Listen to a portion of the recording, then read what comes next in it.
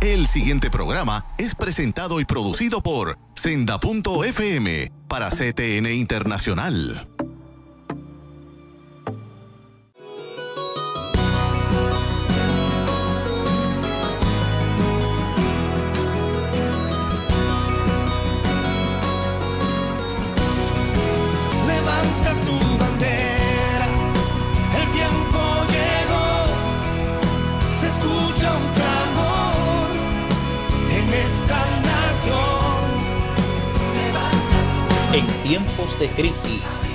Todo parece estar perdido, dice la palabra del Señor, no temas, porque yo estoy contigo. Ahora con ustedes, este tu programa, Contigo en la Mañana.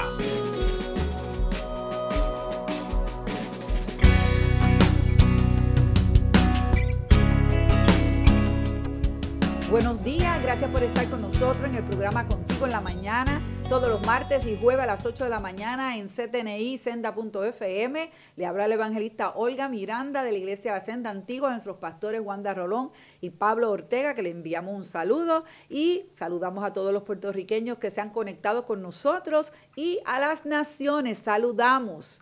Pues en esta mañana queremos que compartir una entrevista con un joven eh, de nombre Isaías Rodríguez, que va a hablarnos un poco de sus planes y sus proyectos como ministro del Señor. Desde muy joven sus padres lo han criado en los caminos del Señor, haciendo de él un hombre muy productivo, un joven que tiene un futuro hermoso, ya que Dios lo ha llamado para estudiar algo que no es pastor, que no es evangelista, no es profeta, porque Dios va a acomodar sus personas en diferentes lugares, ¿verdad? Porque es necesario hoy en día tener personas preparadas para estar en el Senado, en la legislatura, en otras áreas de otros campos, ¿verdad? Profesionales, para orientar al pueblo y orientar también a la iglesia sobre las leyes que es una parte muy importante para todo tipo de trabajo. Buenos días, Isaías. Buenos días, muchas gracias por tenerme aquí en este programa. Muchas gracias a ti por aceptar la invitación. Pues estábamos hablando backstage, ¿verdad? Eh, de cómo tus padres te han criado en los caminos del Señor y el trabajo tan excelente que han hecho, ¿verdad? Porque hay que darle honra a ellos. Eh, y cómo verte, yo que te he visto crecer desde muy niño, tenías como 8 o 9 años cuando llegaste a la iglesia y llegaste a ir a otro programa que yo tenía en Radio Redentor y ahora te veo hecho ya un hombre, ¿verdad? Que está, este es tu año senior, muchas felicidades Muchas gracias. y que pues ya vas enfocado en unos estudios a nivel profesional. Me estabas diciendo que Dios te ha puesto en tu corazón, ¿verdad? Eh, el estudiar abogacía. Eh, te pregunto, eh, esta parte de este estudio que vas a hacer ahora más adelante, ¿qué te lleva a eso? El que el Señor te haya puesto eso en tu corazón y otras metas que me imagino que tengas profesionalmente.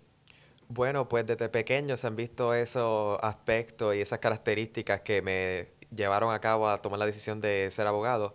Y desde pequeño he tenido una firmeza muy grande gracias a mis padres en mis ideales y todos los valores que yo tengo gracias a la Biblia y la enseñanza que ellos me dieron. Y desde cheque- eh, pequeño, déjame darte una historia pequeña para que veas más o menos esas características que se vieron. Una vez yo estaba en un salón de clase y todos los niños estaban hablando de Navidad porque estábamos regresando del receso de Navidad y diciendo, ¿qué te dio Santa Claus en en este día? ¿Qué te dio Santa Claus en este día? Y ya en ese entonces yo sabía que Santa Claus pues no existía. Y yo me quedé firme y yo dije, Santa Claus no existe. A mí nadie me dio eso excepto mis papás y el niño Jesús. yo Y me todo el mundo- la cara de ellos. Todo el mundo se empezaron a alzar, empezaron a gritar, no, Santa Claus existe y esto. Y yo dije, "Pe- pe- perdóname un momento, ¿dónde en Puerto Rico hay una casa con chimenea? Y empecé a dar este, hechos y cosas así que en ese tiempo no se vieron como mucho, pero ahora sí, porque desde pequeño veo que esa semilla que estaba ahí creciendo poco a poco de defender y creer en los ideales que yo tengo firmemente, pues estaba ahí presente.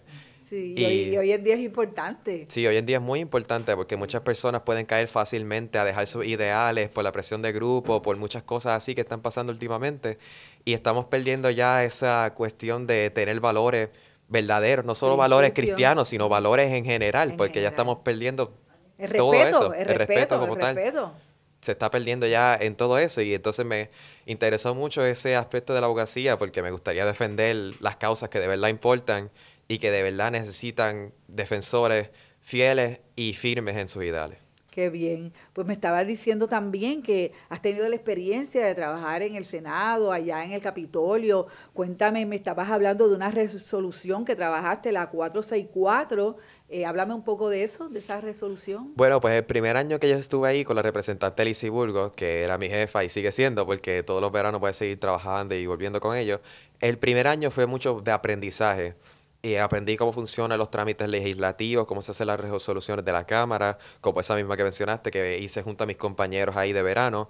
Y esa resolución como tal trata de que el Departamento de Educación haga una investigación en la cual se busque la eficiencia de los programas de arte en las escuelas, ya que desde pequeño eh, me fui instruido como baterista y como músico y cuando comparaba esa enseñanza externa a la interna de la escuela, no se comparaba para nada, simplemente repetía los mismos rudimentos y aprendía las mismas cosas que sabía desde pre-kinder y no, no crecí, no sabíamos ni... Si ahora mismo yo te digo que aprendí una canción de la escuela, ya eso no, no pasó, ni siquiera tengo una. Y entonces hicimos esa resolución para no solo ese aspecto de la música, sino también para de la arte y otras cosas que son muy necesarias, porque nos ayudan no solo a crecer este, de nivel de inteligencia, sino emocionalmente y nos ayuda a crecer como individuos. Sí, estoy muy de acuerdo. ¿Sabes por qué? Porque en Estados Unidos, en las escuelas públicas, todos tienen que coger o deporte o música. Y por eso tú ves las bandas que van en los desfiles y tú dices, wow, tú sabes, ahora mismo mi, mi, mi nieta está en Estados Unidos y yo sé los estudios que va a tener porque son pro enseñanza a que o tocas música o eres deportista, porque la mente, hoy en día, ese es uno de los problemas, los muchachos están en la calle y no tienen, salen de la escuela y no tienen qué hacer, los padres los tiran a la calle, muchos de ellos, nos vamos a hablar de todos, ¿verdad? Porque no todos son así, y el muchacho se cría en la calle, entonces se va hacia un mundo de delincuencia por el mismo aburrimiento que tiene. O sea, ahora digo yo, te estaba mirando y estaba pensando, ok, vas a ser abogado, pero ¿y si después de, estudiar abogacía, Dios tiene para ti el que tú ocupes un puesto en el Senado? Me vino eso ahí en, el momento y dije, oye, espérate que estoy viendo esto aquí, este, a lo mejor es algo profético, ¿verdad? Uno nunca sabe, pero me vino ahora en el momento y dije, no, lo tengo que decir. Eh, si tú pudieras sentarte en el Senado, eh, ¿qué tipo de eh, proclama, resolución, tú harías eh, para mejorar algún sistema? Vamos. Eh, para apoyar a los jóvenes, ¿qué, tú podrías implementar? De decir, mira, me gustaría hacer una resolución para atacar este problema. Bueno, pues empezando diciendo, yo estoy dispuesto a hacer lo que el Señor me pida, ya sea ser Senado, abogado, pero en esos planes que yo tendría, me enfocaría primero en mejorar la educación ya que eso es algo que está, como acabo de mencionar, está fallando catastróficamente. Los maestros se están yendo a Estados Unidos, hay huelgas, hay cosas, pero el gobierno no responde a esos problemas que son muy importantes. ¿Y cómo esperan tener un Puerto Rico formado y que sea grande y que tengamos individuos que de verdad puedan hacer logros importantes cuando en el mismo principio que es las escuelas estamos fallando tan grandemente? Y esas son cosas muy importantes que se deben atacar porque ves muchas leyes de otras cosas que no son importantes, no tienen vigencia ahora mismo, pero cuando lo comparas con las leyes que hacen para ayudar a los sistemas de educación o para apoyar a los maestros a que se queden o que por lo menos den un factor así para... Un, incentivo, Un incentivo para que te quedes en la escuela y que veas que en Puerto Rico sí hay un futuro, pues no ves nada así. Y me gustaría mucho enfocarme en eso porque nosotros estamos aquí y yo estoy aquí como joven para decir que Puerto Rico sí tiene un futuro y es un futuro grande, pero somos nosotros los que tenemos que llevar ese futuro a cabo. Pues es bien importante esa parte que me estás mencionando de la educación, porque yo soy una que, que eh, me duele mucho ver la educación de mi pueblo, ver las escuelas públicas como están, ver los maestros como están, eh, locos por retirarse porque no aguantan más la presión. Eh, y sabes que emocionalmente un pueblo que no tiene educación, pues no puede pelear contra las leyes ni nada porque no tiene educación. Entonces eso es una forma muy sutil de controlar un pueblo, ¿verdad? No que no tengan mucha educación, porque si tienen mucha educación, pues saben, saben de leyes, saben de ciencia, saben en todos los campos, pueden decir, no, espérate, que eso que tú me estás diciendo no es verdad. Entonces la educación es muy importante. ese proyecto, vete trabajándolo, porque te va a tocar. Entonces estábamos hablando, ¿verdad? Eh, de esa experiencia tuya allá, pero también estábamos hablando de que dice en el Salmo 119, que lo voy a leer un pedacito, el 9 dice, ¿cómo puede el joven guardar puro su camino guardando tu palabra? ¿Verdad que sí? el guardar la palabra te garantiza, el tú ser obediente, esa obediencia te garantiza ti un futuro. Eh, donde tú, tú dices, como decía eh, el rey, este, si no tienes sabiduría, pídesela al Señor. Y al pedir sabiduría, pues Dios le dio un montón, riqueza, Salomón le dio de todo. ¿Por qué? Porque él pidió sabiduría. Entonces, cuando tú estés en esas funciones, eh, tal vez tu inteligencia y lo, el conocimiento que tengas, vas a tener momentos difíciles, porque dicen que, ¿verdad? Los que estudian abogacía, ¿cuántos años son ya? ¿Ocho? ¿Son ocho o son seis? De... de abogacía, cuando tú estudias leyes. Ah, sí, creo que son ocho años. Son ocho. hay que estudiar, hay que, quemarse las pestañas. So, eh, esa, esa parte tú puedes estar seguro de que el Señor te va a ayudar en todo tu proceso porque Él tiene un propósito en tu vida, Él te llamó y Él te va a respaldar. O sea, tú no estás solo. Este, hay momentos en que van a ser momentos difíciles, pero esa, esa promesa de parte del Señor de que Él está contigo, Él va a seguir estando contigo, no importa qué. So, tú no te limites, tú sigue adelante, sigue con esas metas que tienes. Me gusta mucho el que a tu corta edad, porque tú lo que tienes son 17 años, estás enfocado, eh, no estás buscando eh, allá afuera nada que se te haya perdido, porque tú mismo sabes que allá afuera no hay mucho para ti, para tus propios intereses y para los intereses del Señor, ¿verdad que sí? Así. Pero vamos a ir a una pausa y vamos a regresar con Isaías. Bendiciones, no te vayas.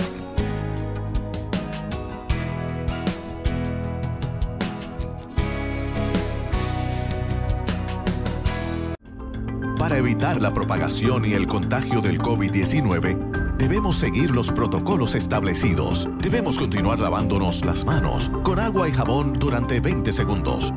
Usar hand sanitizer. Utilizar mascarillas. Guardar por lo menos 6 pies de distancia entre personas. Sanitizar superficies regularmente, además de los zapatos y accesorios. Hazlo por tu bien y el de tu familia. Busca CTNI en YouTube y sé uno de los miles que se han suscrito para disfrutar on demand de la gran variedad de programas diseñados para ti. Suscríbete al canal de YouTube de CTN Internacional. La mayor selección de música cristiana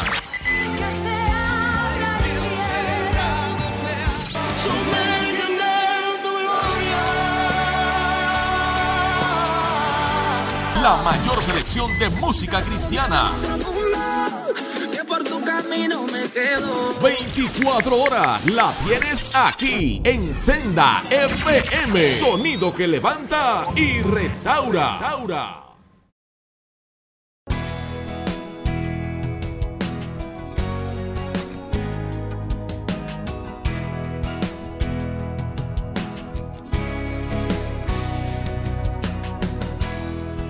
Continuamos con el programa Contigo en la Mañana, una entrevista con un joven Isaías que va a estudiar abogacía. Pero antes de continuar con esa entrevista, quiero que vayas a tu Biblia y busques el Salmo 119. Es el más largo, pero léelo con calma. Yo voy a tocar algunos versículos, porque estamos hablando de, de la sabiduría, de la enseñanza, de a veces leyes y resoluciones que son inútiles porque en verdad no tocan temas importantes de que este país necesita ser eh, ayudado en muchas áreas y empiezan a hacer leyes y cosas extrañas, ¿verdad? que como que no edifican al pueblo y estábamos hablando también de que la falta de, conocimiento del pueblo perece, ¿verdad que sí? Si tú no estudias, tú no te preparas, tú no tienes un nivel intelectual que pueda ser eh, una amenaza para aquellos que están en posiciones importantes y que tú le puedas refutar ¿verdad? Con argumentos sólidos de que están en lo incorrecto. So, busca la Biblia, Salmo 119, dice el 33. Enséñame tus decretos, oh Señor, los cumpliré hasta el fin. Dame entendimiento y obedeceré tus enseñanzas. Las pondré en práctica con todo mi corazón. Hazme andar por el camino de tus mandatos, porque allí es donde encuentro mi felicidad. Es verdad que da felicidad el, agradar a Dios. Dame entusiasmo por tus leyes, porque estamos hablando de las leyes, en lugar de amor por el dinero. O sea, que tu integridad no sea comprada, Isaías, nunca. Importante. Aparta mis ojos de cosas inútiles. Yo creo que tú vas a hacer este versículo tuyo. Sí. y dame vida mediante tu palabra. Confirma a tu siervo tu promesa, la promesa que hiciste a los que te temen. Ayúdame a abandonar mis caminos vergonzosos porque tus ordenanzas son buenas. Anhelo obedecer tus mandamientos, renueva mi vida con tu bondad. Señor, concédeme tu amor inagotable, la salvación que me prometiste. Y después seguimos más adelante, porque verdaderamente cuando leí esta parte donde dice, dame entusiasmo por tus leyes, no las leyes de los hombres. O sea, que tú en esa posición de abogado vas a tener las leyes, pero vas a tener unas leyes que van por encima de esas leyes. Así Y cuando tal vez quieran comprar tu integridad, como ha pasado, ¿verdad? Que los, los compran con dinero, ¿verdad? Tú vas a decir, no, no, no, porque eso no es agradable ante los ojos de Dios. Y tú te vas a ocupar de hacer lo que el Padre te ha enseñado a hacer. Aparta mis ojos de cosas inútiles. Porque qué mucho tiempo, ahora mismo que acaba de haber un concierto, ¿verdad? Eh, donde podemos ver una juventud que apoya eh, un lenguaje ofensivo, insultante, vulgar, eh, que es muy preocupante cómo estos jóvenes aplauden y cómo el mismo gobierno le ha dado premios y, y- reconocimiento cuando antes la letra de una música, si tenía una sola mala palabra, eso no se podía pasar por radio. Eh, lo, eso tiene un nombre, lo censuraban. Sí. Y salía pip, pip, eh, no, ya no eso no existe. Y entonces como abiertamente eh, eh, eh, eh, van calando en la mente de estos jóvenes a que acepten esas vulgaridades donde, oye, es como ofenden a sus esposas con esto, ofenden a sus novias, ofenden a la mujer, ofenden su propia integridad como persona. Porque si tú no te respetas a ti mismo, ¿qué tú puedes pensar? Ay, Isaías, ¿qué tú me puedes hablar sobre cómo tú como joven, que has visto todo este mover de esta música tan desagradable que a veces uno va en el carro guiando y yo he tenido que, que, que a pisar, eh, porque no quiero escuchar esa basura. Para mí eh, eh, me hace daño a mis oídos, eh, me da esta vergüenza. Y pasan por ahí este, con esa música para que todo el mundo la escuche, porque si tú la quieres escuchar en tu privacidad, ya eso es tu cosa. Pero tú me quieres obligar a mí a que yo acepte algo que para mí es ofensivo. ¿Qué tú tienes que decir sobre eso? Bueno, para primero, al- primero de todo, ¿por qué la gente escucharía algo así que denigra los derechos, denigra todo lo que uno es como una persona y hasta las mismas mujeres que lo cantan a todo pulmón y dan y bailan haciendo las cosas que dice la misma canción, pero después se quejan de que violan sus derechos, después se quejan de que la gente es irrespetuosa, después se quejan de que la gente ya no tiene ideales, que no tiene valores, pero cantan y promueven cosas así, no tiene sentido. Cuando ya desde esas canciones te están sembrando tantas cosas y tantas cosas vanas, eh, la falta de respeto, la falta de los ideales, no, no, no hay nada de eso ahí, es lo contrario. Las canciones hablan de faltar el respeto a todo eso y de todo lo que es uno como una persona. Ellos promueven eso y después se preguntan a dónde se fueron las personas buenas, a dónde se fueron las personas con respeto. Y me da curiosidad porque hacen todas esas preguntas, pero ellos son los primeros que promueven esas cosas. Y yo pienso que una de las cosas más importantes como persona y como cristiano es la firmeza. Si uno tiene firmeza en los ideales y en los valores que tú crees, pues esas canciones no te van a interesar. No te van a interesar porque son cosas que van en contra de lo que tú eres. Aparta mis ojos de cosas inútiles y dame vida mediante tu palabra. Cosas inútiles. Así mismo. Porque después de tú escuchar algo así, ¿qué de edificante tiene eso para ti? ¿Eso te levanta tu autoestima o, o te degrada ¿O en como te ser humano? Te degrada, porque es algo demasiado de fuerte. Eh, la música de antes era una música romántica hermosa, donde se le hacía piropos a la mujer, donde se enamoraba con cosas hermosas. Entonces, yo digo que la dignidad del ser humano está siendo eh, eh, eh, atropellada en todas las áreas y tú como joven que puedes hacer la diferencia, que me estabas diciendo que tú perteneces al grupo de adoración de GEA, que es un grupo de jóvenes Sí. que es diferente. Ujú. ¿Qué tú has aprendido en ese grupo de jóvenes? Tú que estás ahí este, saliendo con ellos, compartiendo con ellos, ¿qué tú escuchas en esos jóvenes? ¿Qué, qué hay de ellos? ¿Qué, qué tienen ellos diferente a los jóvenes de la calle? Bueno, pues lo primero es la hambre y sed que ellos tienen de la palabra del Señor y de los ideales que da la palabra. Eso es lo primero. Ellos no necesitan nada de esas cosas que ofrece el mundo porque ellos saben que tienen algo mucho mejor, que es la palabra de Dios y tienen el privilegio de adorar al Señor.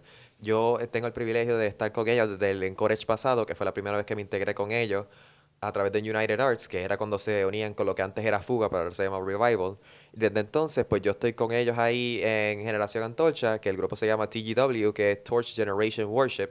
Mm. Y he tenido el privilegio de estar con ellos, algo espectacular, jóvenes buenos, jóvenes íntegros, jóvenes fieles a lo que es la palabra del Señor. Y se siente bien estar con unos jóvenes que de verdad creen en esas cosas importantes, que de verdad piensan en las cosas que verdaderamente importan. Sí, que quiere decir que tú no estás en un grupo aburrido, Tú no estás en un grupo old fashion, tú no estás en un grupo que tú digas, ay, qué aburrido está esto aquí, aquí no se pasa bien, la pasas bien, ¿verdad que sí? Sí, muy bien, Al, revés, yo soy un grupo de jóvenes muy modernos, este, bastantes veces he tenido que salir a comprar ropa que a mí me encanta usar y es porque he salido con ellos, con los jóvenes. Esta misma chaqueta que estoy usando era por una que usamos en Navidad. Okay. Pero nos divertimos mucho, nos divertimos mucho y hacemos salidas también después de todos los domingos van a, a Bahama Box y hacemos salidas así, pero se pasa bien sin necesidad de ninguna cosa que falte respeto o denigre a nadie, porque esas cosas no son necesarias para pasar un buen tiempo. Exactamente, y no has necesitado licor, ni marihuana, ni fumar, nada de, nada de eso te ha hecho falta, ¿verdad que no? Nada. Estaba escuchándote hablar inglés. ¿Dónde tú aprendiste ese inglés? ¿Dónde tú estudiaste? Bueno, yo estudié en la Academia de Discípulos de Cristo, pero siéndote honesto, como la educación ahora mismo no es lo mejor. Yo aprendí más este, lo que es hablando con mis amigos y viendo programas en inglés. Empecé primero con programas en inglés con subtítulos. Pero después empecé a ver ya inglés con subtítulos en inglés y ya ni necesito subtítulos porque ya aprendí con lo que es la televisión, escuchando cosas, todo lo que sea en inglés. Ok, porque tienes un buen acento en inglés. Mi mamá era maestra de inglés, yo tengo como un oído bastante afilado en eso. Y, noto que lo pronuncias muy bien. Que eso te abre un campo, eh, ser bilingüe, eso es hoy en día, o sea, un asset, o sea, de verdad. Este, entonces quiere decir que en tu corazón está agradar a Dios. A tu corta edad, enfocado en tus estudios, en tu futuro, eh, para ser útil, ¿verdad? Eh, para este pueblo, ¿verdad? Que tanto lo necesita. Necesitamos profesionales que amen a Dios, que sean temerosos de Dios, gobernantes, senadores, alcaldes, eh, porque no sabemos dónde Dios te va a llevar. Tal vez la próxima vez que yo te entreviste a ti ya tú eres un profesional, este, ya estás hecho un abogado, este, porque sabes que cuando ya estemos, tú me vuelves y me tocas base, oiga, quiero hablar de, este tema de esta ley, de este argumento, de esta situación que está pasando en la política. ¿Te gusta la política? Sí, me está interesando ya, pero no me interesaba mucho antes, pero ya estos dos años que tuve, pues me ha entrado más y me ha gustado más porque uno ve verdaderamente, uno piensa en gobierno y se cree que es algo que está unido, pero tú ves, tú entras ahí adentro y ves que es totalmente es otro lo mundo. contrario. No es el mundo que tal vez nosotros vemos. Entre los mismos partidos hay divisiones enormes, nadie cree en un mismo ideal, nadie cree en las mismas cosas, este, todo el mundo, casi todo el mundo es corrompible, eh, caen en mucho de lo que es la, este por dinero, por todas esas cosas que no importan, pero hay excepciones, como la que es mi jefa, este, Lizy Burgos, que creen verdaderamente en el futuro de Puerto Rico y un futuro con Puerto Rico con Cristo.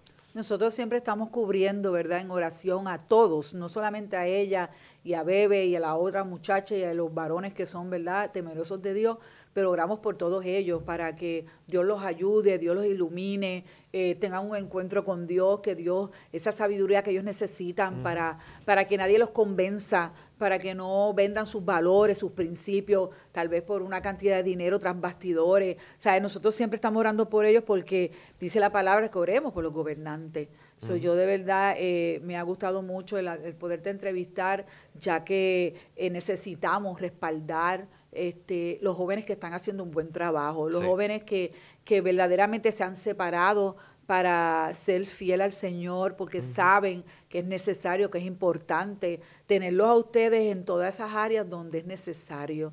So, yo verdaderamente te felicito, felicito a tus padres, porque sabemos que Isaías va a lograr muchas cosas en la vida, muchas cosas, y como tienes al Señor como, como tu Señor, ¿verdad? eh, al gran yo soy, el poderoso en batalla, eh, vas a lograr muchas cosas que no es que no las ibas a poder lograr, pero vas bajo una cobertura especial, donde eh, hay un cerco de protección alrededor de tu vida y que no importa lo que la contaminación que esté a tu alrededor, Dios te ha guardado y te ha cuidado celosamente, hijo, celosamente. A veces no podemos entender los padres que nos sobreprotegen, eh, que tal vez son un poquito fuertes con nosotros, porque es que hay que cuidarlos, porque ustedes son lo más que nosotros apreciamos en nuestra vida, nuestros hijos. Imagínate tú, ahora yo soy abuela, pues te, te puedes imaginar, ¿verdad?, cómo, cómo oro por mis nietos. Y, esos padres tuyos van a estar siempre orando por ti, más todos nosotros, ¿verdad? Este, porque queremos que sobresalgan. Eh, tú has visto el gobernador de El Salvador, eh, eh, hay un país que hay un gobernador que es cristiano y ese hombre habla que yo quisiera que viniera a Puerto Rico y le diera una cátedra a dos o tres aquí, cómo gobernar este país, ¿verdad? Cómo él va eh, a favor de los pobres, cómo él va a favor de los, que, ¿verdad? La, gente menosprecia y se ha parado firme de que aquí no, ¿ves? Y yo encuentro que tú desde tu posición, tú puedes decir, no, esto no va a ser permitido. Es como en la República, Santo Domingo, un ejemplo que yo siempre veo. No, aquí no va a entrar esa, esa música, aquí no va a entrar ese, ese, ese eh, cantante, porque su, su, lírica no la aceptamos. So, gracias Isaías, despídete porque otro día te vuelvo a invitar para que me sigas hablando de los proyectos y los planes. Sí, muchas gracias por invitarme, fue un placer estar aquí y hablar de estos temas. Claro que sí, bendiciones. El pasado programa fue presentado y producido por Senda.fm para CTN Internacional.